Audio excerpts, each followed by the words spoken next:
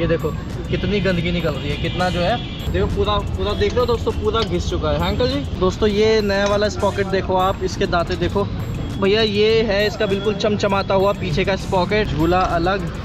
और बाइक बहुत बेकार लग रही है देखने में। नमस्कार दोस्तों, मेरा नाम है कांश और आप देख रहे हैं मेरे यूट्यूब चैनल राइडर एकांश उम्मीद करता हूँ आप सभी बढ़िया होंगे दोस्तों। अभी क्या है कि मैं ये चेन सेट लेके आया हूँ अपनी एक्सप्लेट का। ये होंडा कंपनी का ओरिजिनल है और ये मेरे को पड़ा पंद्रह सौ का। टोटल आप मान लो सोलह सौ का ये मेरे को चेन सेट पड़ा है। लास्ट टाइम मैंने जो चेन सेट चेंज कराया था, मुझे पता नहीं मैंने कितने किलोमीटर पर चला करवाया था। और अभी ninety eight thousand two hundred something कुछ चल चुकी है मेरी बाइक और चेन सेट जो है ख़राब हो चुका है। ये देख सकते हो आप यहाँ पे।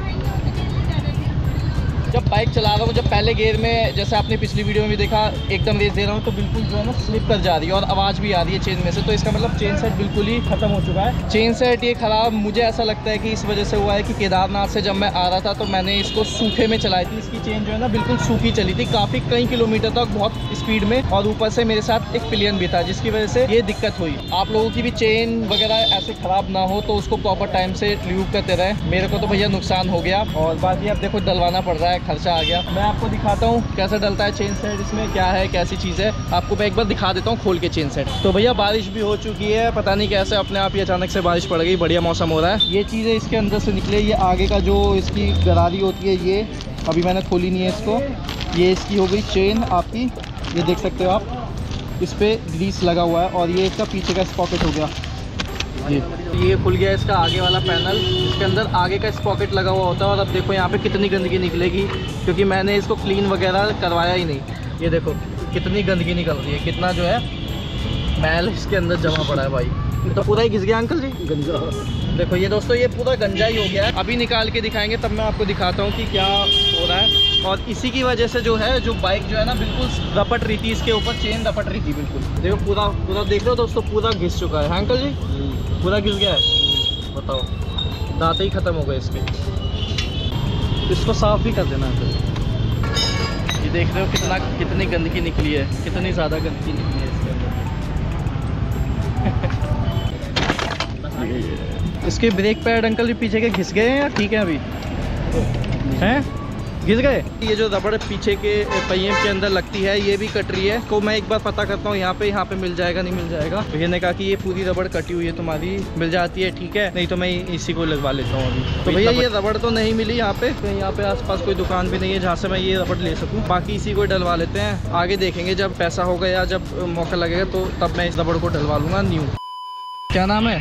वाजिद। वाजिद क्या नाम है? हैं? लकी लक्की। लकी तो भैया इन लोगों ने भी हमारा जो है चैनल सब्सक्राइब कर लिया। अभी तो इंस्टाग्राम पे करें यूट्यूब पे भी कर लेना भैया ठीक है? यूट्यूब पे भी और बेल आइकन ज़रूर दबा देना। भाई आपका नाम क्या है? मेरा नाम सागर भैया। सागर? जी। तो भाई सागर भाई आप भी कर लेना ठीक है? भाई लोगों ने भी सब्सक्राइब कर लिया अपना चैनल बाकी जो है इसकी रबड़ नहीं मिली है और ब्रेक शू भी इसके घिस रहे हैं तो ब्रेक शू अभी नहीं डलवा रहा। मैं अभी इतना बजट नहीं है। भैया ये है इसका बिल्कुल चमचमाता हुआ पीछे का स्पॉकेट कितना बढ़िया लग रहा है नया का नया एकदम। तो जी यहाँ से ये झूला भी जो है झूला खोल दिया है अंकल जी ने। और तब जाके इसका चेन लगेगा अंदर को। झूला अलग और बाइक बहुत बेकार लग रही है देखने में। दोस्तों, ये नया वाला स्पॉकेट देखो आप, इसके दाते देखो। एकदम नए हैं, बिल्कुल, एकदम बढ़िया, है ना? और वो बिल्कुल घिस गया था।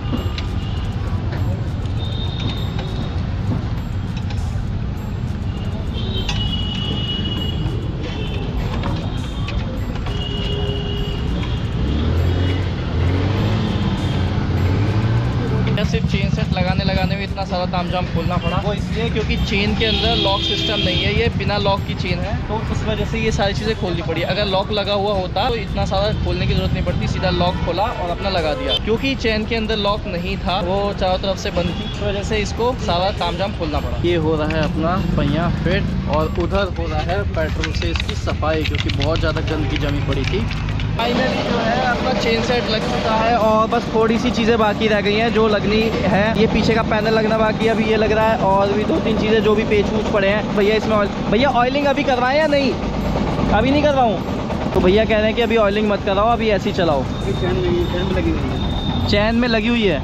फाइनली जो है चेन सेट लग चुका है, पूरा काम जो भी था काम झाम जो भी था, वो लग गया है और बढ़िया तरीके से बाइक हो गई है। बाकी अब मैं आपको बाइक चला के दिखाऊँगा कि बाइक कैसे परफॉर्म कर रही है। आप पुराना वाला भी चेन सेट देख लो। ये है इसका, ये आगे वाला स्पॉकेट और ये रहा इसका चेन और ये पीछे का स्पॉकेट अच्छा अंकल जी, धन्यवाद। ये दो मेरा। Thank you uncle ji. बाकी अब बहुत देर हो गई है घर पे निकलते हैं तीन बज गए भाई, तीन बज गए, पता ही नहीं चला। ओ भाई। वाह भाई वाह। हो मज़ा आ गया भाई, मज़ा आ गया।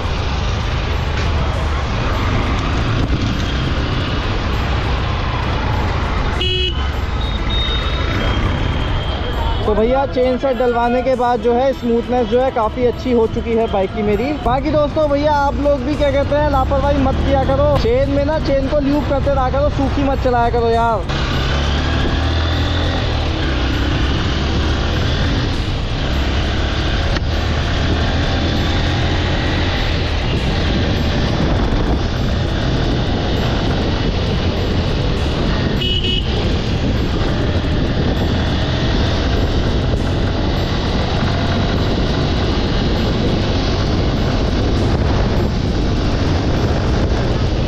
इस वीडियो में इतना, इस ब्लॉग में इतना ही। मिलते हैं नेक्स्ट ब्लॉग में। अगर आपको मेरा ब्लॉग पसंद आया तो पसंद आया तो लाइक शेयर कमेंट कर दीजिएगा। और अगर आप मेरे चैनल पर नए हो तो चैनल को सब्सक्राइब करके बेल आइकन ज़रूर दबा दीजिएगा, ताकि मेरी नई वीडियो के नोटिफिकेशन आपको मिलते रहे। तो चलो दोस्तों, मिलते हैं नेक्स्ट ब्लॉग में। तब तक के लिए बाय टेक केयर अपना ध्यान रखेगा बाय